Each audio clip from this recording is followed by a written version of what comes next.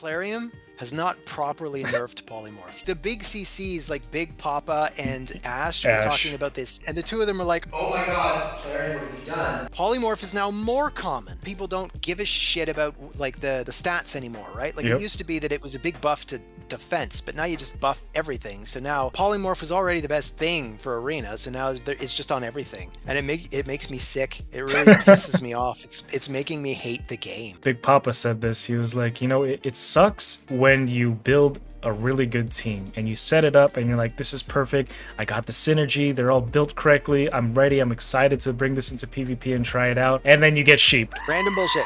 Exactly. everywhere. You just get fucked by RNG.